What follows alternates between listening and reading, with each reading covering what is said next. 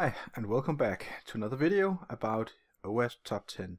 Today we're going to talk about the security misconfiguration security issue that there is. It's called A6 security misconfiguration. My name is Daniel Ellebæk and let's begin. So the agenda today is we're going to talk about what it is. This is the security misconfiguration, how common it is, and how to fix it. And of course we have a source right here where you can follow the link or just go to owasp.org and click on the OWASP Top 10 project to find the A6 security misconfiguration part. So what is it? First of all, security uh, misconfiguration uh, can in many cases be um, thought about as a hardening process or the lack of a hardening process. Missing security hardening or incorrect permissions on a server or application could be uh, could lead to to what is called security misconfiguration. Unnecessary feature supports available. So if you have a server or some some sort of service where you uh, have some features, let's say for example that you can delete a user, but you never use it, you never need it, then why have it? Why have a port open for FTP if you have no FTP server on your server that is should be exposed to the outside. Default accounts is another really uh, bad thing. I see many people forgetting to not use the root user for, for example, MySQL services or just any Linux account. Uh, disable your super, admin super administrators so you can only use them local. You cannot SSH to them, for example, and create users uh, for the actual purpose of the job you need them to do. So basically, it means if you have a web application and you need to delete something, well, have a user that can delete to, to that certain or particular table or database that a user should be able to delete on. And of course, the same goes if you have a, let's say, let, let's say you're creating something like Facebook.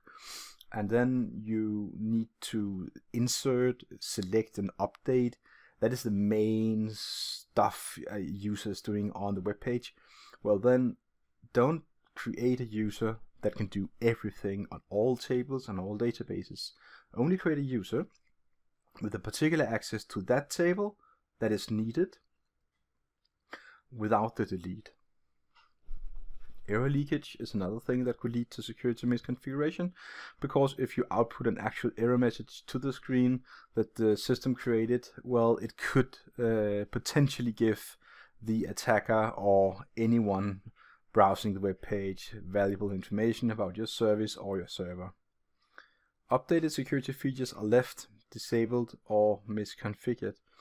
Yes, sometimes when you get a new patch, for example, for a um, anything basically.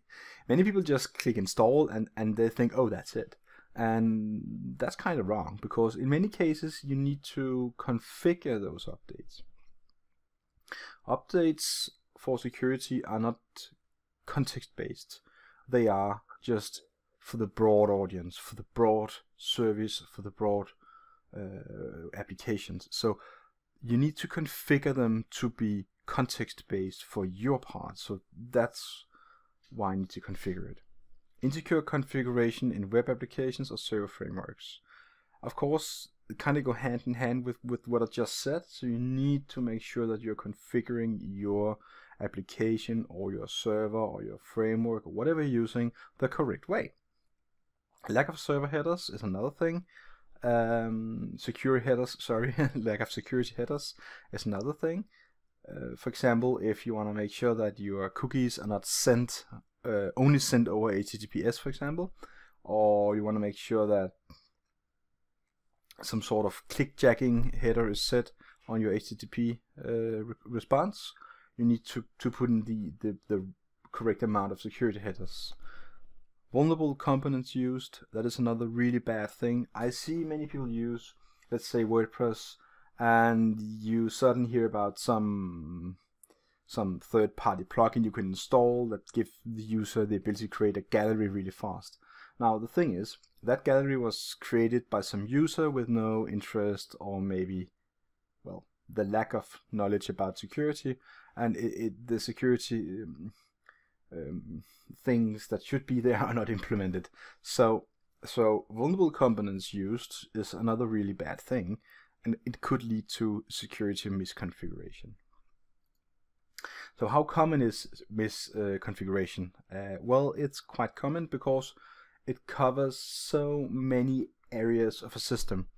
Uh, imagine a, a, full Linux server. You, you have your SSH, you have your web server, you have your whole system with right to folders and system right to, to, to this and that. You have your users, you have your own services installed, you have a port, you have your firewall maybe, you have many different things on that server you need to, to uh, configure and be aware of.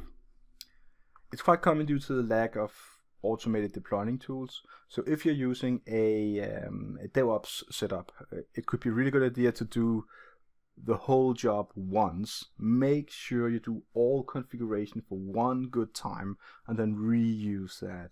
I know deployment tools do not really configure services, but it can help you a lot to do all the small things you forget along the way. Of course, some security flaws can be found by automated test tools uh, for example, let's say some brute forcing, you, you, you want to find some SQL injection or cross-site scripting or something, maybe use a fuzzer. And a fuzzer is, is, a, is a method to send a lot of input to the application or to the server and see how, how it reacts to that. Of course, automated scans is, is no better than the, the, the actual data you send. So you need a really good list to be, well, enough covered to say, I'm confident that that the automated scan is is somewhat okay. But pay attention to to how I, how I wrote my text. It says some can be found. Others cannot be found by automated test. Uh, then you need to do a, to take on the the manual testing, where you use your expertise to find the other flaws. Um, Yes, one thing is is another is is not all vulnerabilities are as serious as others. There are some that could be potentially more dangerous. Let's say that you have a root user, and in some way you can gain access to that root user.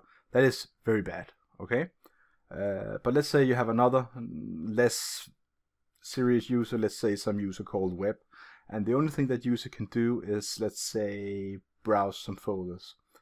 Um, that is of course still bad, but it's not as bad. So you need to kind of weigh off mm, which kind of vulnerabilities are most serious and if you are creating a risk assessment maybe maybe using a, a map a threat modeling map or all the different threats you have then create individual risk assessments for those all threats then you can start to map out how serious kind different vulnerabilities could be and where you should put your effort to find the next one because there's no reason for you to begin to look at a very very small vulnerability if it's very insignificant.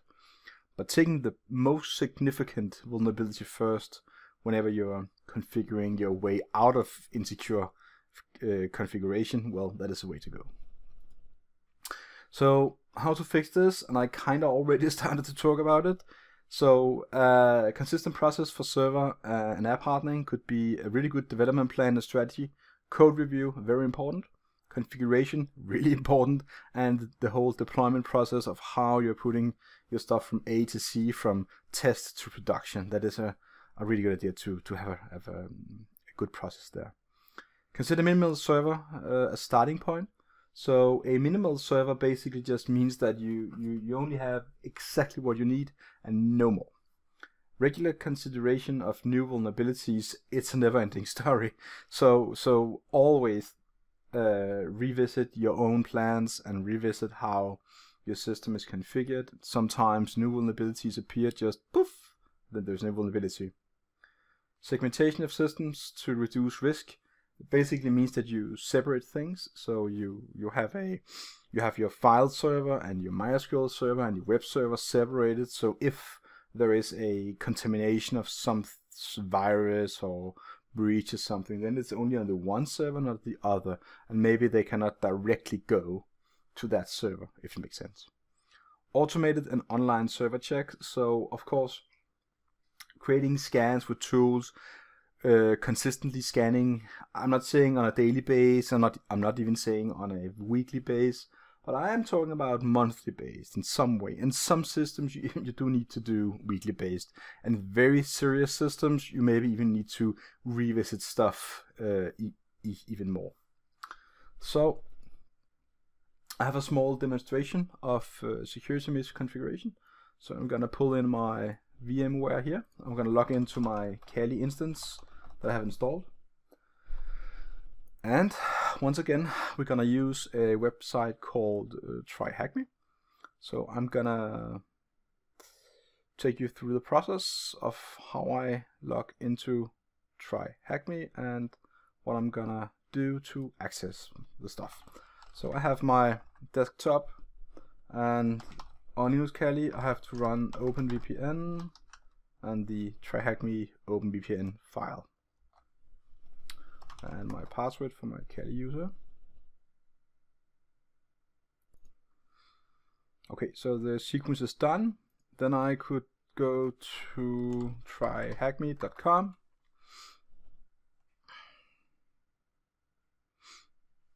and